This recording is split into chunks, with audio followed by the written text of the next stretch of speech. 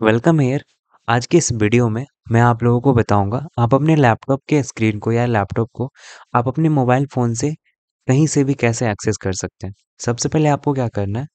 Google Chrome open करना है और यहाँ पे सर्च करना है क्रोम रिमोट डेस्कटॉप। ये फ़र्स्ट हाइपर लिंक पे क्लिक करना है और आपको क्या करना है? यहाँ पे सेटअप रिमोट एक्सेस, ये जो आइकन दिख रहा है, इस पर क्लिक करके ये डाउनलोड कर लेना है।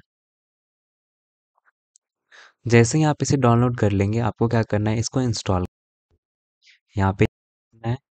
अभी ये देख सकते हैं आप इंस्टॉल हो रही है, वो इंस्टॉल हो चुकी है। अब यहाँ पे फिर से क्या करना है एक्सेप्ट एंड इंस्टॉल करना है।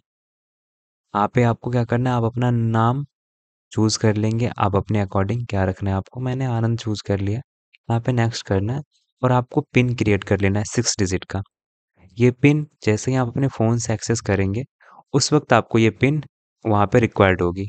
जैसे एंटर मैंने कर दिया स्टार्ट करना है।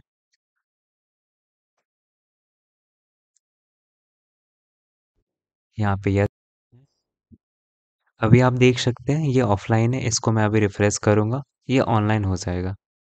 आप देख सकते हैं, ये ऑनलाइन हो चुका है। अब आगे की प्रोसेस मैं आपको फ़ोन पे करके दिखाऊँगा कि आप वहाँ से कैसे एक्सेस कर सकते हैं। और इस गाइज़ मैं मोबाइल फ़ोन स्क्रीन पे आ चुका हूँ। अभी आपको क्या करना है, यहाँ पे गूगल क्रोम ओपन करना है और सेम यहाँ पे सर्च करना है क्रोम रिमोट डेस्कटॉप यहाँ पे फ़र्स्ट लिंक पे क्लिक करना है। और यहाँ पे देख सकते हैं जो मैंने नाम क्रिएट कर रखा था, वो यहाँ पे दिख रहा है। अभी मैं इस पर टैप करूँगा और यहाँ पे ये यह कनेक्टिंग दिख रहा है। यहाँ पे जो मैंने पिन क्रिएट करा था, वो मैं पिन एंटर करूँगा।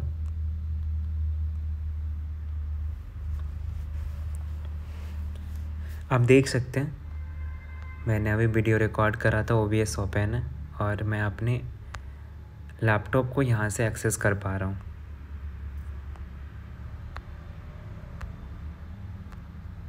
As you can see this देख सकते हैं आप, मैं अपने लैपटॉप को अपने मोबाइल फ़ोन से एक्सेस कर पा रहा हूँ। अगर आपको ये वीडियो अच्छा लगे तो चैनल को सब्सक्राइब ज़रूर कीजिएगा और लाइक भी ज़रूर कीजिएगा। और इसी तरह का कंटेंट देखने के लिए हमारे चैनल से जुड़े रहिएगा। Thank you.